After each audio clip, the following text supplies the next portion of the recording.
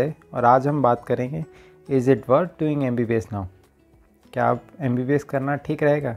आप देख ही रहे हो, पिछले कुछ सालों से दिन ब दिन कंपटीशन इतना बढ़ते जा रहा है।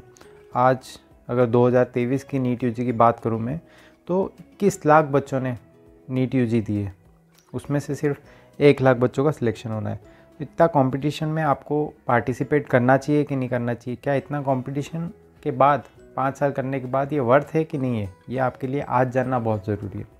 तो आज हम डाटा के हिसाब से आपको बताएँगे कि इंडिया में कितने डॉक्टर्स की रिक्वायरमेंट है और क्या अगले दस साल में डॉक्टर्स का फ्यूचर कैसा होने वाला है। तो प्लीज़ ये वीडियो ध्यान से देखिएगा। 2018 से बात करता हूँ मैं। 2018 का डाटा है जिसमें नीट, यूजी में कितने पार्टिसिपेंट थे? 11 लाख थे। धीरे धीरे 13 लाख हुए 15 लाख हुए 16 लाख हुए। 2022 में 18 लाख हुए 2023 में सीधे 21 लाख हो गए इतने सारे लोग डॉक्टर बनना चाहते हैं, सोचो। पर आज हम बात करेंगे कि इसमें सही में रिक्वायरमेंट है कि नहीं।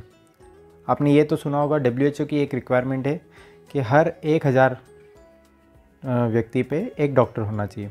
तो हम करेंट सिचुएशन की बात करते हैं। आज की सिचुएशन के हिसाब से 11 लाख डॉक्टर्स करेंटली वर्किंग और प्रेजेंट है 140 करोड़ की जनसंख्या में। मतलब इसका रेशो है point seven is to one thousand आज तो एक से भी कम है मतलब नॉर्मल मिनिमम रिक्वायरमेंट जो है एक होना चाहिए, उससे कम है। मतलब आज तो हम फुल सफिशेंट नहीं है डॉक्टर्स की। क्या आने वाले दस साल में हम हो पाएँगे? ये देखते हैं। मान लीजिए कि हर साल एक लाख बच्चे ऐड होते हैं तो आने वाले दस सालों में, आने वाले दस सालों में कितने ऐड हो जाएँगे? दस लाख नए डॉक्टर्स ऐड होंगे, ठीक है?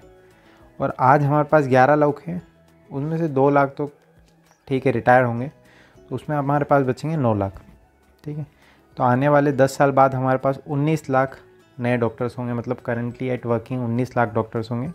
152 करोड़ की पॉपुलेशन हो जाएगी। करंट में डाटा के हिसाब से बता रहा हूँ कि इंक्रीज़ होते होते कितनी हो जाएगी। तो 10 साल बाद ये एक सौ बावन करोड़ के लगभग पहुँच जाएगी।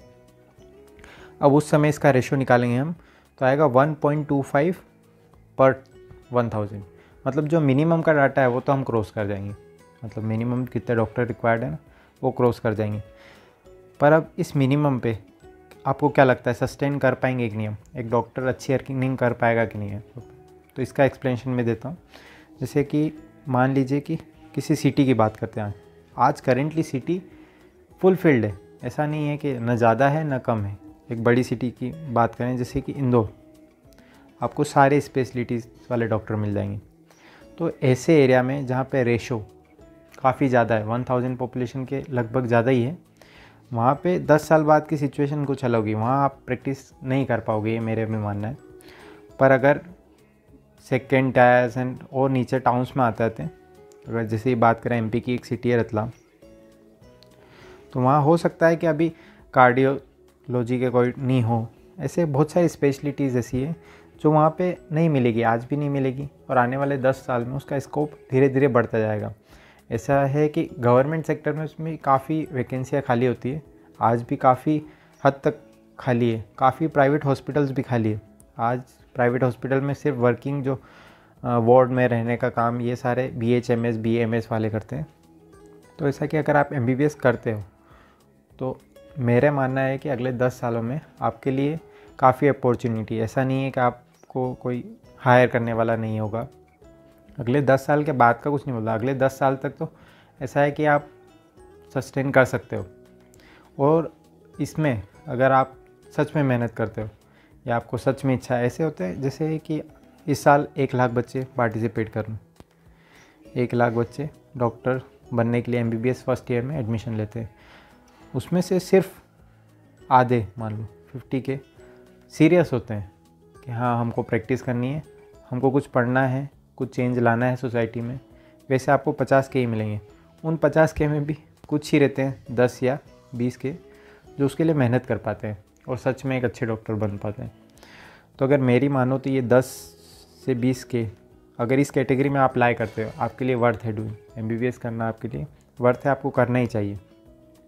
क्योंकि आगे चलने के बाद हर एक स्पेशलिटी के भी अभी, जैसे कि अगर आप साइकेट्रीज देख लो डर्मेटोलॉजिस्ट देख लो तो ये काफ़ी रिमोट एरियाज़ में अभी भी नहीं मिलते ना।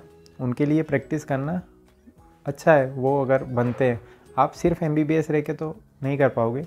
इसके बाद आपको पी तो करनी होगी। पीजी करने के बाद अभी आगे पाँच साल में जितने पी निकलेंगे ना उतने तो गवर्नमेंट को ही हायर करना है। उन, उनकी भी फुलफिल नहीं है। गवर्नमेंट हायर ही नहीं कर रही अगर वो हायर करने बैठे एक डाटा के हिसाब से तो अभी 20 परसेंट अट्ठाईस परसेंट पीडियाट्रिशियन ही गवर्नमेंट में वर्किंग है। सत्तर परसेंट रिक्वायर्ड है जैसे। तो ऐसे अगर हर पूरे इंडिया की बात कर रहा हूँ तो बहुत सारे रिक्वायर्ड है। सिर्फ़ अगले पाँच साल तो सिर्फ़ गवर्नमेंट सस्टेन है। गवर्नमेंट के जितने रिक्वायर्ड है, वही सस्टेन हो पाएँगे। अगर प्राइवेट प्रैक्टिस के लिए होना है तो उसके लिए बहुत लंबा, अगले दस साल तक तो समय चाहिए। तो मेरे हिसाब से अगर इन दस से बीस हज़ार की कैटेगरी में आप आते हो तो 21 लाख का कंपटीशन आपके लिए वर्थ है। आपको सोचने की भी ज़रूरत नहीं है। अगर ये वीडियो शॉर्ट है थोड़ा अच्छा लगा हो तो प्लीज़ लाइक करेगा thank you have a nice day.